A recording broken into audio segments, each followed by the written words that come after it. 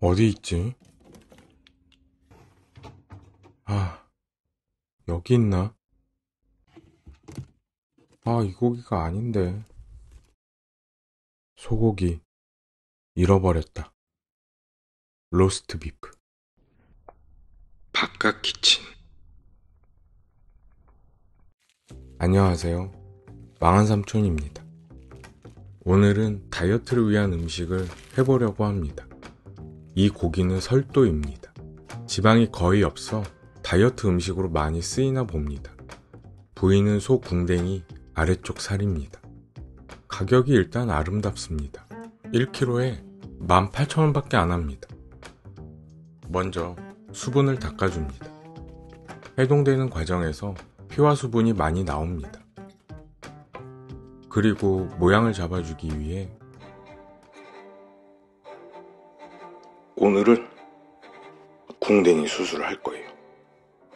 이 의뢰인께서는 86세 할아버지신데 궁뎅이를 제시처럼 만들어서 청춘을 되찾으실 거라고 말씀하셨어요.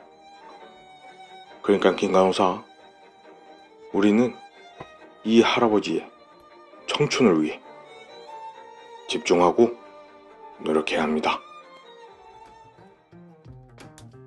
고기의 모양을 잡아주고 소스를 만들어 봅니다. 먼저 마늘.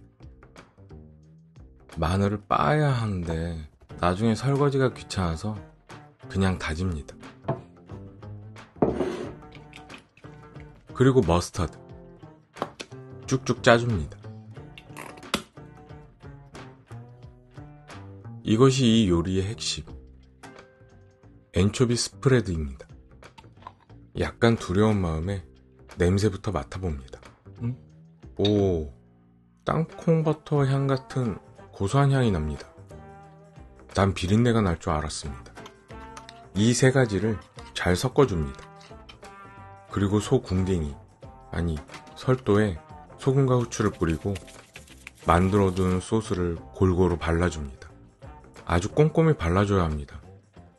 안 그러면 이 요리가 실패할 수도 새끼한테 입만 벌리면 소수 범벅 소 궁뎅이를 잘 어루만져 주면서 더 꼼꼼히 빈틈없이 만듭니다.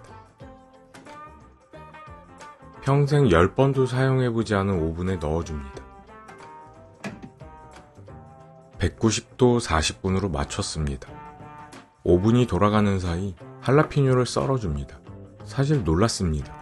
한국에서 생 할라피뇨를 먹을 수 있다니. 어릴 때 미국에서 객기로 한 개 통째로 씹어 먹었다가 죽을 뻔했습니다. 그리고 양파는 대충 잘라줍니다. 버터와 오일을 두르고 예열합니다. 그리고 약불로 살살 익혀줍니다. 약불에 익혀진 할라피뇨와 양파에 마늘을 조금 넣고 후추와 소금으로 간을 합니다. 더 익히실 필요는 없습니다. 이번엔 찍어 먹을 소스를 만듭니다. 물 반컵을 넣고 비프 스톡을 넣고 끓여줍니다. 국내에선 유일하게 비프 스톡을 청정원에서 만드나 봅니다. 이 브랜드 말고는 없더라고요. 바베큐 소스도 한 숟갈 넣고 후추는 꽤나 많이 넣어줍니다. 그리고 섞어주면 끝. 5분이 다 돌아갔습니다. 와, 냄새 기가 막힙니다. 엔초비랑 머스터드를 섞은 소스가 궁금했는데 향이 아주 좋습니다. 완성된 로스트 비프. 잠시 감상하시죠.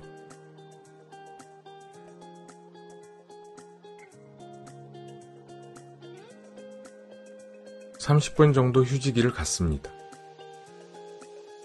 8년 동안 길들여온 무쇠팬에 아까 만들어둔 고추와 양파를 올립니다. 모양을 잡아가며 익히다가 에멘탈 치즈 슬라이스를 올리고 불을 살짝 넣고 뚜껑을 닫아줍니다. 아, 이때 불은 꺼주면 됩니다. 무쇠팬이니까요. 존나 맛있게 생겼죠? 근데 모양이 다르다고요? 맞습니다. 녹화 버튼을 안 눌러서 다시 만들어 찍었습니다. 모양을 잡기 위해 꽁꽁 묶어뒀던 실을 제거하고 반으로 잘라봅니다.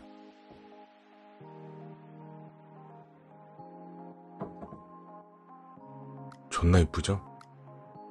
전 rare는 취향이 아닙니다만 외국 유튜버들은 다 이런 상태의 고기를 먹길래 저도 그냥 먹기로 했습니다. 걔네들도 맛없으면 안 먹었을 테니까 그냥 먹기로 했습니다. 호밀빵에 바베큐 소스와 머스터드 소스를 살짝 넣고 발라줍니다.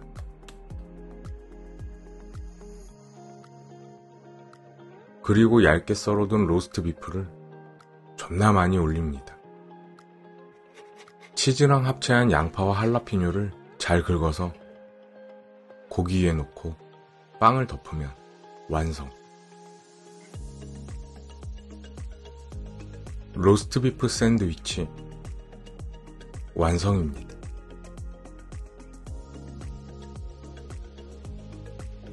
먹기 편하게 반으로 커팅하고 흘린 건 주워 먹습니다. 딱 봐도 고기만 3cm. 먹기 전이지만 고기가 많아서 벌써 신납니다. 찍어 먹기 위한 소스를 준비하고 어깨춤을 추면서 먹어보겠습니다.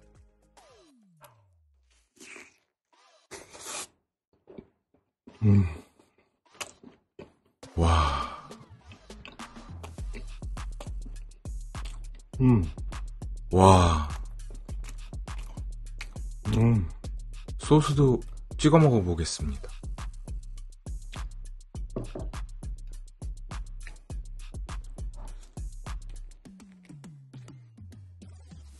음. 음. 여러분, 빈말 아니고 이건 그냥 해 드셔야 합니다. 제가 20여 가지 요리를 보여드렸는데 와, 이게 원탑입니다. 따라하기 어렵고 뭐 그런 문제가 아닙니다. 미쳤네. 네, 그렇습니다.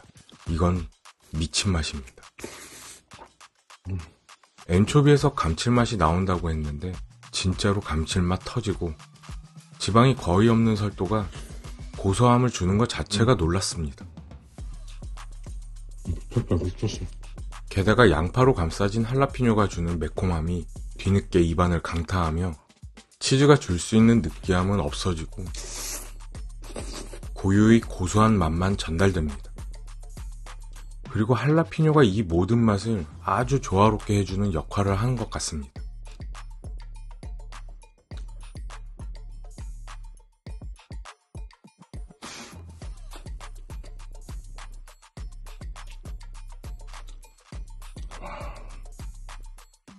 와. 진짜 맛있다. 떨어진 조각 하나하나 다 아쉬울 만큼 맛있습니다. 이거 먹으면서 다이어트 성공한다고 하면 난 100일은 먹을 수 있습니다. 진심 미친 맛입니다. 음.